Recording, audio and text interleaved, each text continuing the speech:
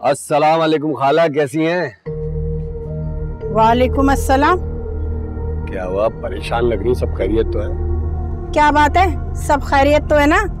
ये महीना पूरा होने में तो भी पूरा एक हफ़्ता पड़ा है। कैसी बातें कर रही हो खाला? पैसों का तकाजा करने नहीं आया कसम से। मैं जानता हूँ।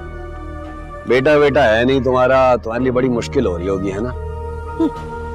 बेटा मानने में और होने में बड़ा फ़र्क होता है। और फिर कर्ज तो कर्ज ही होता है ना।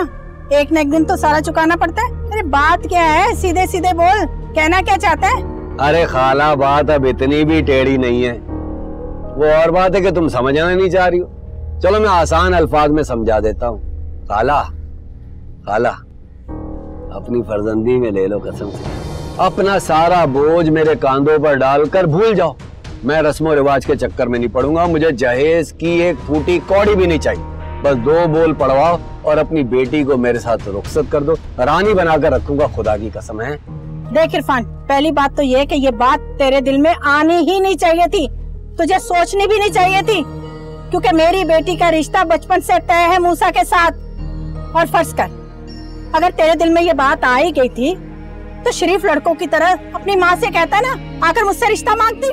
क्या हो गया खाला? क्या हो गया? मैंने बोला घर की बात है इसलिए मैंने खुद आकर कर ली। अरे घर की बात का तो और भी ज़्यादा ख्याल रखा जाता है क्योंकि घर की बात इज़्ज़त की बात होती है। नाराज़ क्यों हो रही हो खाला? मैंने कौन से बदतमीजी से बात कर ली? जहाँ तक घर वालों की बात है तो। शाम को भिजवा देता हूँ अपने घर वालों को है? तो लगता है मेरी बात है तेरी समझ में नहीं आई। अभी अभी बताया है ना कि मेरी बेटी का रिश्ता तय हो चुका है मूसा के साथ। और मेरी बात सुनो आइंदा ना इस घर के दरवाजे पर आने की ज़रूरत नहीं है। तुम्हारे पैसे वक्त पर पहुँच जाया करेंगे।